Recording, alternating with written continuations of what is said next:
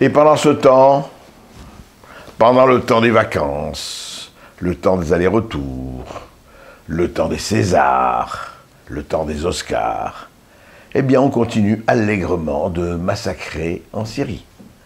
Là, ce n'est plus les hein, les soldes ont massacré les prix, là on massacre des hommes, des femmes, des enfants, tous les jours. Tous les jours en Syrie, une centaine de personnes meurent. Alors on fait soi-disant des réunions, l'ONU euh, parade, il suffit que la Russie et la Chine donnent leur veto pour que rien ne puisse se faire. Mais moi, ce qui me frappe, parce que c'est nous, que faisons-nous, nous, ici, devant les ambassades syriennes, en Europe et ailleurs Et surtout, que faisons-nous au niveau des professionnels de l'indignation? Que fait monsieur Stéphane Essel, dont le fonds de commerce est l'indignation?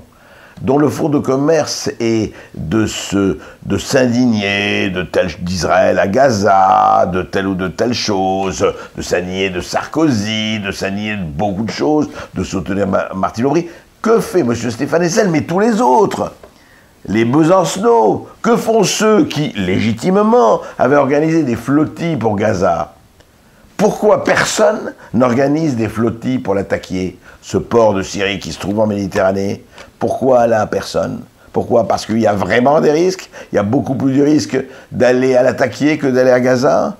Alors, messieurs les professionnels de l'indignation sélective, messieurs les professionnels de l'indignation à trois vitesses, ceux qui considèrent qu'il y a les bons cadavres et les mauvais cadavres, messieurs les professionnels vraiment de la connerie sélective, eh bien franchement, regardez-vous, regardez-vous dans le miroir et vraiment vomissez d'indignation envers vous-même.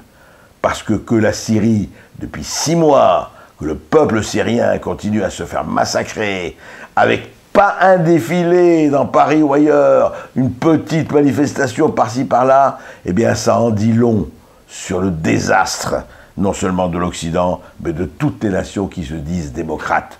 Alors pas d'intervention, pas d'interférence, le droit d'ingérence on n'en veut plus. Eh bien écoutez, quand ça arrivera chez vous, vous allez pleurer et vous aurez raison de pleurer.